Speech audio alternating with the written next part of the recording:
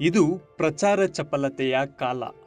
ಗುಡಿಗುಂಡಾರಗಳಿಂದ ಹಿಡಿದು ಮದುವೆ ಮನೆಯವರೆಗೂ ಇದು ನಾನು ಮಾಡಿದ್ದು, ನಾನು ಕೊಟ್ಟಿದ್ದು ಎಂದು ಬರೆಸುವ ಜನರ ನಡುವೆ ಅಲ್ಲೊಬ್ಬ ಕೃಷಿಕ ತನ್ನೂರಿನ ಸಮಸ್ಯೆಯನ್ನು ಯಾರ ಸಹಾಯವನ್ನು ಪಡೆಯದೆ ಆನಂದದಿಂದ ಮಾಡುತ್ತಿದ್ದ.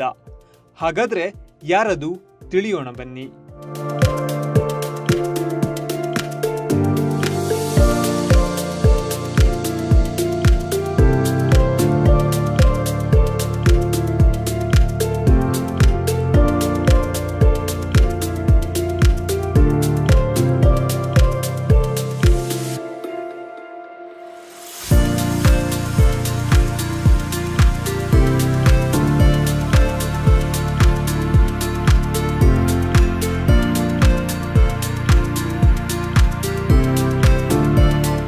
ಉತ್ತರ ಕನ್ನಡ ಜಿಲ್ಲೆಯ ಕುಮ್ಮಟ ತಾಲೂಕಿನ ಹಾರೋಡಿಯ ಪರಮೇಶ್ವರ ಗೌಡರಿಗೆ ನಲವತ್ತೈದರ ಪ್ರಾಯ.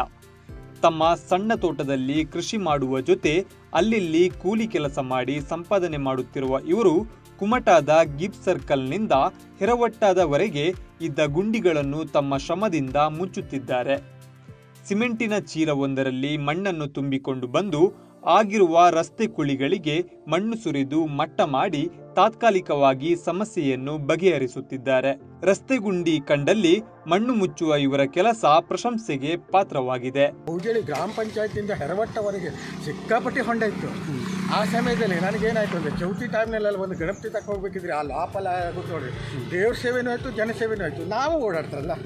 ಎಲ್ಲರಿಗೂ ಅನುಕೂಲ ಆಯಿತು. ನಾನು ದಿವಸ ಒಂದು ನನ್ನ ಸಮಯ ಬಿಟ್ಟು ಇತರ ಸಮಯ, ನಮ್ಮ ಮನೆ ಕೆಲಸ ಸಮಯ ಬಿಟ್ಟು, ಬಾಕಿ ಸಮಯದಲ್ಲಿ ಖಾಲಿ ತಿರುಗೋಕ್ಕಿಂತ ಒಂದು ಹತ್ತು ಹೊಂಡ ಮುಚ್ಚಿರಿ ಜನ ಸೇವೆನೂ ಆಯಿತು ನಮಗೊಂದು ಸಮಾಧಾನ ಆಗ್ತದೆ ಹೇಳಿ ಮಾಡುಗತ್ತೆ.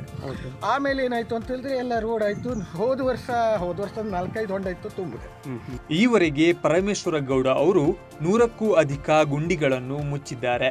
ಪ್ರತಿದಿನ ಈ ಭಾಗದಲ್ಲಿ ಮೂರು ಸಾವಿರ ಗಾಡಿಗಳು ಸಂಚರಿಸುತ್ತವೆ. ಅವರೆಲ್ಲ ಸುರಕ್ಷಿತವಾಗಿ ಮಣ್ಣು ತಲುಪಿದರೆ ಸಾಕು. ಗುಂಡಿಗೆ ಸಿಕ್ಕು ಬಲಿಯಾಗುವುದು ಬೇಡ. ನನ್ನಿಂದ ಆಗಿದ್ದನ್ನು ನಾನು ಮಾಡುತ್ತಿದ್ದೇನೆ. ನನಗೆ ಯಾವುದೇ ಪ್ರಚಾರ ಬೇಡ.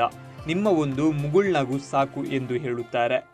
ನಮ್ಮ ನಡುವೆ ಬದುಕುತ್ತಿರುವ ಈ ಜನಸೇವಕನಿಗೆ ನಾವೊಂದು ಚಪ್ಪಾಳೆ ತಟ್ಟಿ ಬಿಡೋಣ